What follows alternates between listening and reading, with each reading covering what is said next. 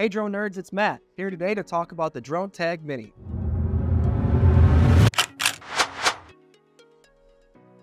Introducing the Drone Tag Mini, a groundbreaking remote ID device approved by the FAA, offering unparalleled features that set it apart from the rest. With a design that's both compact and user-friendly, the Drone Tag Mini boasts the best battery life in its class. Drone Tag Mini weighs 1.1 ounces and has dimensions of 2.1 by 1.3 by 0.6 inches. Unlike any other, the Drone Tag Mini is equipped with both network and broadcast remote ID functionalities, giving you unmatched flexibility and control over your flights. After the Mini is delivered to you, the following contents should be in the box. The Drone Tag Mini module, a micro charging cable, one set of dual lock counterparts, an alcohol prep pad, one quick start guide, and a cool drone tag sticker. On the inside lid of the box is an easy to read guide for all buttons and LED indicators. So you have your device. Mini weighs in at 1.1 ounces and has everything you need on board, including the GPS chip for positioning, LTE, and built-in Bluetooth antenna. Mini also has an accelerometer and barometer on board. The built-in battery lasts up to 14 hours and can be easily recharged by the micro USB cable. Mini is attached to the drone with a dual lock fastener and can be quickly and safely attached and detached from your drone. The dual lock holds firm when mated properly, can hold up to 6.6 pounds. On the front, you can see the status LEDs that indicate the status of your device. If you turn the device on the left side, you can see two connectors for antennas, one for LTE and one for Bluetooth. Please notice that the external antennas are optional. The device itself has built-in antennas, and you won't need external antennas except for certain use cases. However, it is nice to have. On the right side is a single button, the main control element on the device. On the top, you can see the unique serial number printed on the label. You must input this serial number into your FAA Drone Zone account. On the bottom, there is two connectors. The first on the left is the micro USB charging slot, and the second one is an extension port. The extension port is for developers only and is not to be used unless we ask you to. We recommend that you charge the device before first use. To check the battery status, short press the button while the device is turned off. Three LEDs indicate the status of the device and its components. Positioning, GNSS, Remote ID, RID, and Status, STAT. Positioning, GNSS, informs about the current state of the satellite positioning systems. Remote ID, RID, informs about everything related to the network and broadcast remote ID functionality. Status, STAT, informs about the overall device status. DroneTag has the most comprehensive documentation and support in the market. Explore their devices, understand their functionality, and access detailed manuals at help.dronetag.cz. This website serves as a valuable resource to help you grasp their products and make informed choices that suit your needs. Let's talk about remote ID capabilities. DroneTag Mini is capable of both network and broadcast remote ID.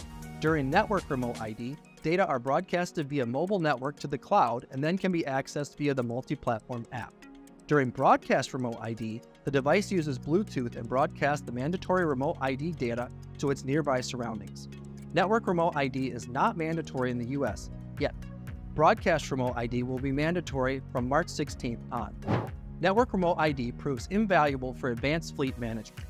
It enables the seamless sharing of real-time data, with the ability to personally restrict data access and maintain flight history including the option to export data, Network Remote ID from the DroneTag Mini device caters to professionals who require more than just basic remote ID functionality.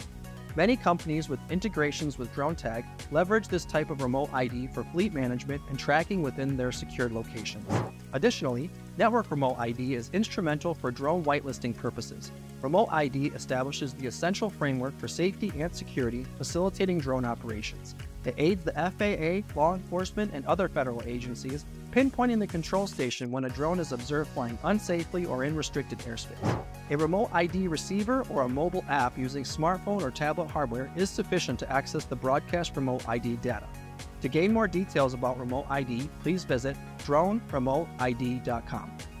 How to attach this to a drone. The Mini uses a 3M dual lock reclosable fastener to quickly and safely attach and detach from your drone. The dual locks hold firm when mated properly. The interlocking heads slide past each other and close with a snap and peel apart easily by hand. Let's talk about proper location. When looking for a suitable location to place the Mini on your drone, you need to watch out for four potential issues. Don't place Mini over a curved surface because it might unsnap during the flight. Don't place Mini on a soft material that can bend during mating, such as plastic covers. The dual locks might not hold properly. Don't place Mini over or close to other electrical components, such as the flight controller, IMU, GNSS antennas, or RF transceivers. Do not place Mini in inaccessible locations. You should always have access to the main button and all LEDs visible. Let's talk about placement. If you put your Mini on top of your drone, you can expect a better GNSS signal. When underneath, a better range for broadcast remote ID. Therefore, the proper location might also depend on your use case. Dual lock counterpart installation. One part of the dual lock is already firmly glued to the bottom of your drone DroneTag Mini device. Besides that, you will receive a self-adhesive counterpart which must be placed on your drone and a clean alcohol pad to prepare the surface. Find the proper surface on the drone for the dual lock counterpart. Clean the surface with an alcohol cleaning pad, wait a few minutes to let the alcohol evaporate. Remove the foil from the mating piece and stick it onto the area. Wait 5 minutes so that the glue hardens. Snap the device into the mating piece of the drone.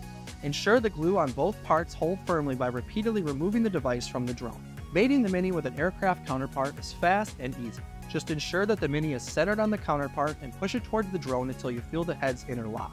This is also going to be accompanied by an audible snap. Before each mating, ensure that both dual locks are clean and that the heads are not bent. When you want to remove the Drone Tag Mini from your drone, pull the device free from one of its corners. Let's discuss the app. If you prefer to not use any app, you're not obligated to. The DroneTag device functions and covers the compliance with the FAA rules seamlessly without an application.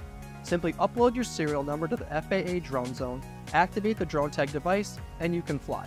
For enhanced functionality and to unlock the full capabilities of your DroneTag device, including the device's status and data monitoring, as well as firmware updates, you can download and utilize the DroneTag app. Setting up an account. When you first open the app, you can walk through the basic intro about the app. We're going to skip it today and go straight into the login. On the first screen, you'll see the basic map. Now click on the persona icon, which will get you to the sign-in screen. Use your already existing account to log in or create a new one. After you sign into the app, hold the mini button down for 2 seconds to turn the device on. The device will wake up and start searching for network and positioning. The LEDs will be blinking. Make sure the device is on and click Register New in the app, which is in the top right corner. Wait until the device is shown in the box of pairable devices. Once it shows, click on it and then click Confirm.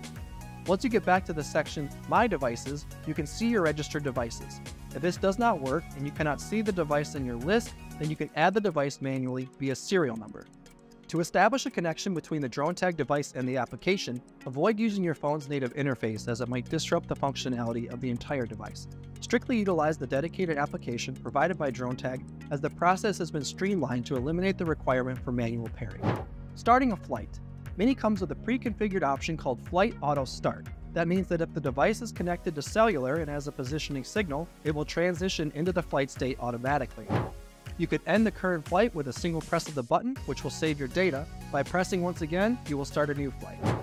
Open the app to check the status of the device. When all LEDs are green, wait for the device to auto start or by pressing the button on the side to start a flight. The flight is ongoing when the LEDs are flashing white. How to make sure you're flying compliant. You can ensure that your DroneTag device is functioning properly and that your flight adheres to FAA regulations by checking the following indicators. Your device is flashing white. In this state, the device is transmitting data in alignment with the FAA rules, indicating that you are ready to fly. In the DroneTag application, if it displays in flight, this signifies that the device is actively in flight and transmitting data according to the regulations. Utilizing the Drone Scanner application, you can confirm that your device is in flight and actively transmitting data. I hope this helped you understand the DroneTag Mini and its capabilities. If you have any further questions, please comment them down below and also be sure to like this video and subscribe to our channel. My name is Matt. Happy flying.